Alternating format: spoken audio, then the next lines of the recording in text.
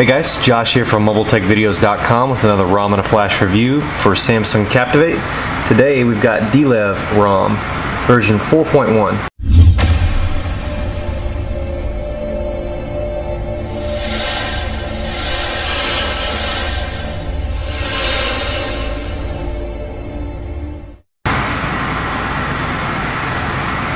Okay, now as I mentioned, this is version 4.1 of DLEV ROM. It's got the all-new Talon kernel, which has the really cool progress screen uh, on the kernel screen, which is really cool. So that way it's uh, a little something to look at while you let it boot, and it seems to be realistic as when it hits that edge there, it actually does boot into the uh, boot animation. So there's the uh, custom boot animation as well with the DLEV ROM uh, logo and graphics, and uh, looks pretty nice.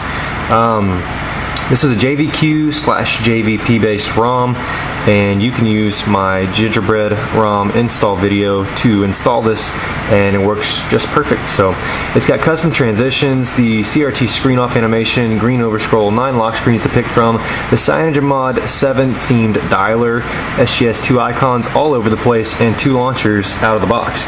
We've got Launcher Pro and TouchWiz launcher here. We'll take a look at each of these. And this is the uh, the newer TouchWiz uh, launcher with the uh, fully overlapping horizontal based app drawer.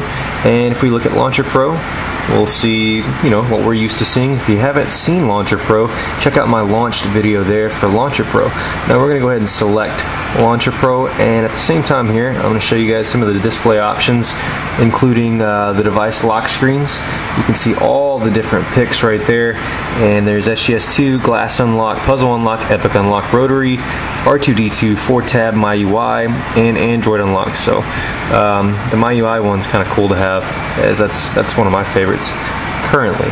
So let me adjust my screen time out to 10 minutes and my brightness to Let's turn it up a notch. Not too bright. Don't oversaturate the um, camera here. And um, yeah, let's see what we can get here. Uh, for, first off, I'm sorry about any noise. I've gotten a few comments about that.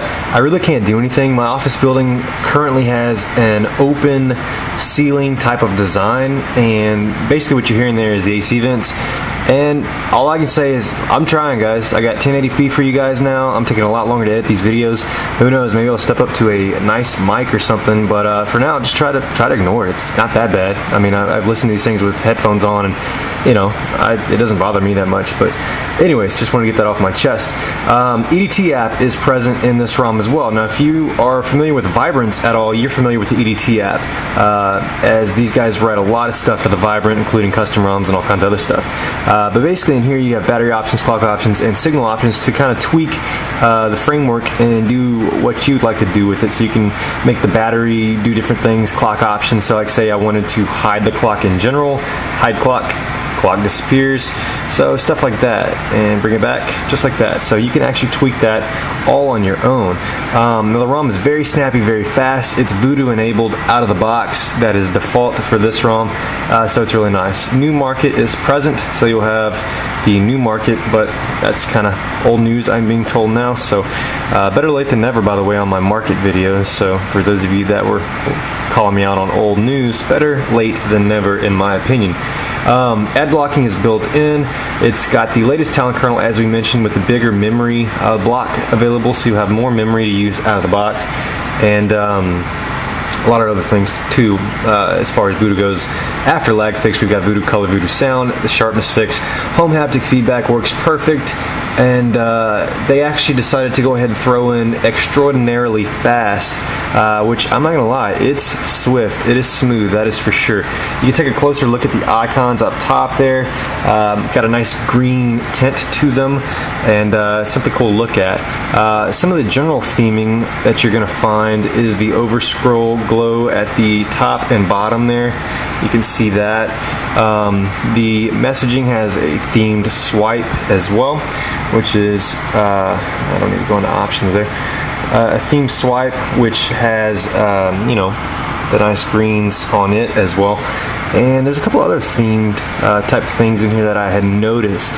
Um, oh yeah, obviously notification menu is gorgeous. Um, really good looking there. It's got a cool looking uh, overglow at the top, Samsung Galaxy S at the bottom, and everything about it's really nice. Uh, some of the custom apps to mention that are available right out of the box would be backlight notification controls. Uh, there's some of the SGS2 um, icons with the camcorder there, and uh, EDT tweaks as we mentioned before. Fancy widget, faster fix GPS. MyUI Music is on this ROM as well, and uh, it's also got an app called Nitrality. Those are just to name a few. Nitrality is much like SGS Tools, uh, but it also has a lot of other things. So definitely check this application out as well. I haven't seen it until now, and I'm a fan. It's it's really cool. I think it's really nice.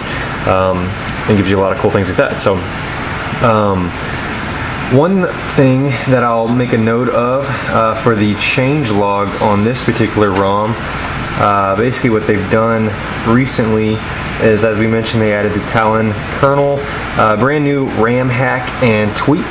Uh, the SGS2 lock screen is now the default. They removed the 4 tab lock screen and uh, a few other things as well. And the Nitrality app is relatively new.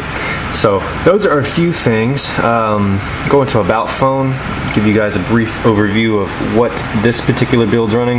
Is DLevs 4.1. Uh, the mod version is unknown. I'm not sure what that field actually represents. Uh, kernel version is what we would expect with the latest Talon kernel. And the JV5 for the modem, obviously on 2.3.4, which is the latest build uh, for Gingerbread. So anyways, that's DLev 4.1 for your Captivate. Be sure to check that out. XDA developers link in the description below. Be sure to bookmark us at mobiletechvideos.com. And also, don't forget to pick up your download mode jig. Quick, easy access to download mode never fails as long as your bootloaders are intact in some way, shape, or form. And if they're not, we can JTAG that as well and correct that. So that's the download mode jig. Link in the description below. Check that out. World famous. We've sold more than anyone in the world.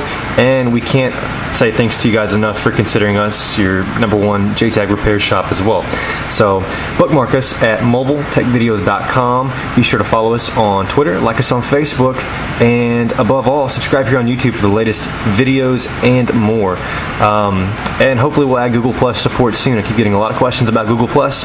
I'll let you know when I get that page set up. So thanks for watching, guys, and I'll see you on the